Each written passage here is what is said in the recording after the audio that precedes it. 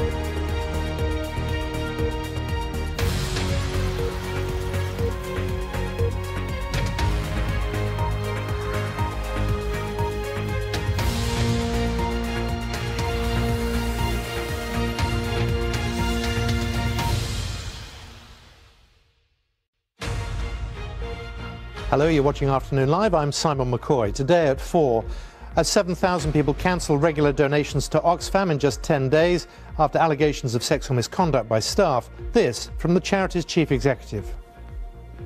I am sorry, we are sorry for the damage that Oxfam has done, both to the people of Haiti, but also to wider efforts for aid and development. Syrian government forces intensify their bombing of a rebel-held enclave near Damascus with 100 civilians, including up to 20 children, among those reported killed. A controversial report into how Royal Bank of Scotland allegedly mistreated small businesses is published by MPs. Brexit won't be a Mad Max-style dystopia, the Brexit Secretary's reassuring message to European business leaders.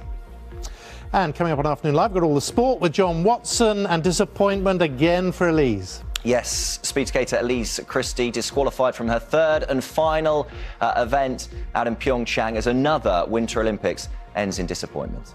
John, thank you very much. And we'll also be getting a full weather update in half an hour's time from Susan Powell. Good afternoon. We have sunshine and temperatures in double figures for some of us this afternoon.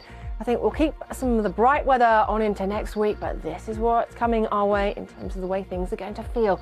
Some air from Siberia and a biting easterly wind. More in half an hour. Susan.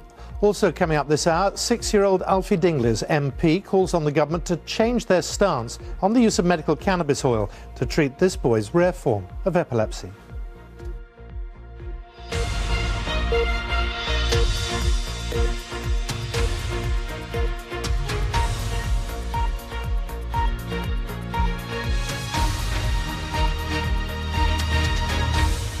Hello everyone, this is Afternoon Live. I'm Simon McCoy.